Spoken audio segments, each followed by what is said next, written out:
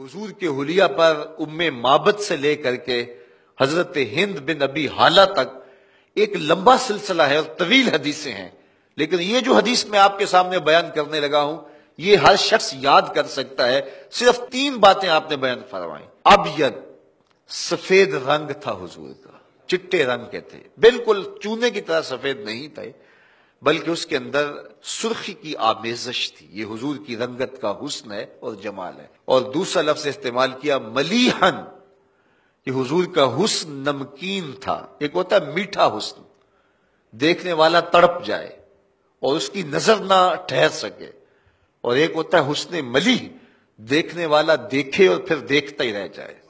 خود فرمایا، آنا ام ہو وہ عقی یوسف اسبا میں نمکین حسن والا ہوں۔ اور میرے بھائی یوسف کا حسن میٹھا تھا۔ وہاں زنان مصر کی انگلیاں کٹ گئیں اور یہاں معاملہ ایسا بظاہر نہیں ہوا، اس لیے کہ حضور کے جمال کے اوپر پردے رکھے گئے تھے۔ اگر وہ جلوہ کریں تو کون تماشائی ہو؟ اس لیے ستر ہزار بشریت کے پردے حضور کے جمال پر ڈالے گئے تھے۔ تو حضور کے حسن کے لیے دوسرا لفظ جو حضرت ابو توفیل نے بیان کیا، ملیحن، حضور کا حسن نمکین تھا۔ اور تیسرا لفظ جو استعمال کیا وہ ہے مقصد. مقصد کا معنی متوازن. ہر معاملے میں توازن. سوا، صدر والبطن پیٹ اور سینہ برابر. پیٹ اٹھا ہو، سینہ پیچھے ہو تو حسن زائل ہو جاتا ہے. پیٹ چپکا ہو، سینہ اٹھا ہو، پھر بھی حسن زائل ہو جاتا ہے. لیسا بالطویل ولا بالکثیر. قد لمبا بہت زیادہ، وہ بھی اچھا نہیں لگتا. پست قامتی بھی عیب ہے. درمیانی قد و قامت. ہر معاملے میں حسن. لیکن یہ بات آپ کو بتاؤں کہ حضور کا قد لمبا نہیں تھا، پست قامت بھی نہیں تھے۔ لیکن اللہ نے یہ شان دی تھی، دس ہزار کے اجتماع میں حضور بیٹھے ہوں یا کھڑے ہوں ایزا جامع الناس غمرہم، اللہ نے شان دی تھی۔ لمبے لمبے قد والے لوگ موجود ہوتے تھے، لیکن حضور تشریف لاتے تو حضور کے کندھے لوگوں کے سروں سے اونچے دکھائی دیتے۔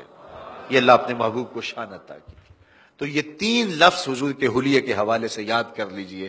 کان رسول اللہ صلی اللہ علیہ وسلم اب یادا ملیحن مقصدہ یہ تین لفظوں میں یاد کیا جا سکتا ہے۔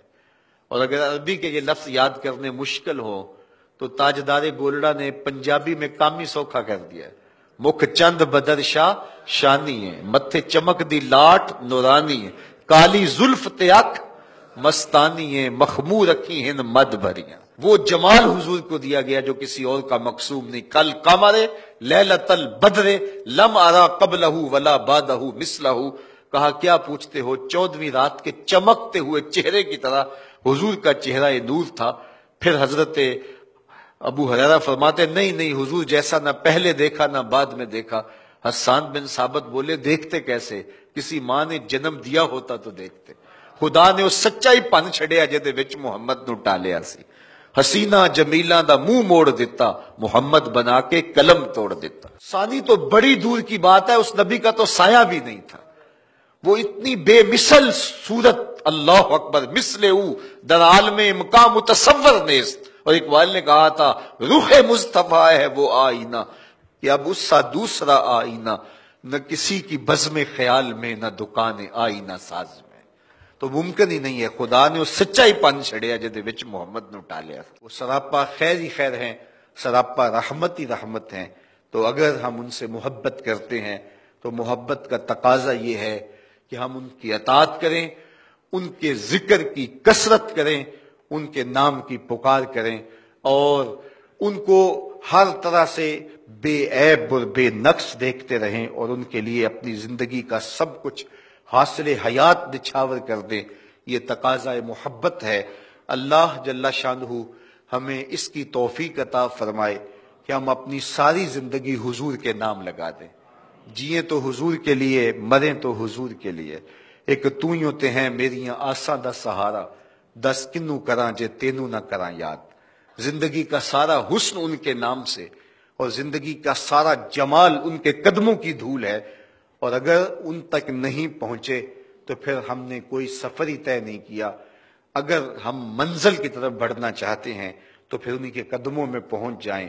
ہر راہ پہنچتی ہے تیری چاہ کے در پہ، ہر حرف تمنا تیرے قدموں کی صدا ہے۔ تو جو ان کے قدموں تک پہنچ گئے، وہی سرمایہ زندگی پا گئے۔